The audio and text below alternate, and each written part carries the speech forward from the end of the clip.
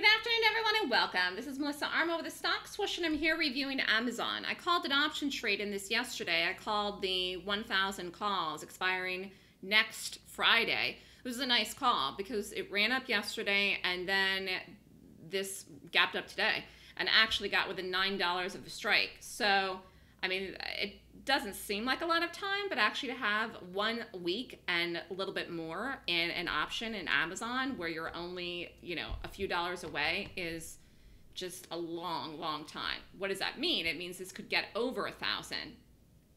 But it, this is positive today. It was positive yesterday. And the fact that the market even was a little bit red this morning and this is red right now, and to be still be positive is is a great sign, a great sign for this. So I think this blows once it gets over a thousand. So Wednesday, Thursday, Friday, all of next week, see where this goes. Again, nice, nice price in this actually for this stock to be so close to the strike for me to have called it. Um, yesterday uh, at the time I did in the morning and then to run up today. So this looks extremely strong now.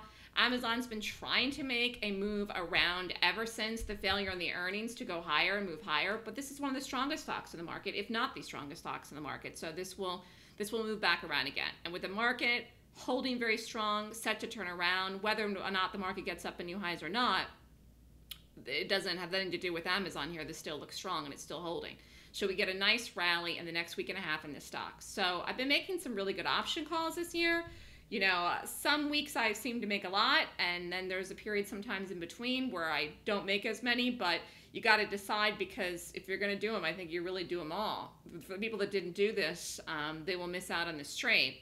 But it was a really nice call. It's a little bit late in here to do it today. Uh, you'd pay up for it here, but the, it looks great. Looks great. And to get this at the price um, that I called it at yesterday was a good number for this because these have been very expensive. I mean, I can't remember actually last time I did call a trade in this because it's been so expensive. It's almost been too expensive to trade even as an option trade. so, and I don't day trade as an equity trade Amazon. I just don't do it. Stops are too big, price points too big too wiggly jiggly. But for options, these are great. They have volume, volatility, and they can really pay even if you do them for a, a day trade, you know, as an option trade, which is not what how I called this, but I'm just saying. So we'll see where this one goes for everybody. Looks like it could have a big move. This pretty much looks exact same as the market today. Um, doesn't look much different. So the market's trying to recover from the day, trying to hold. I think we just rest today, which is what I said in the morning then. I think we have a rest day. And if that's the case, the market could gap up tomorrow. So could Amazon. In fact, we could gap up even over the high of today in this stock. And then if we do, we should hit up over 1,000 yesterday tomorrow, which is only Wednesday, and run. So first target in this is the strike. Okay. Then 110. Dream target on this would be $20 over the strike within the period. That would be a huge, huge trade.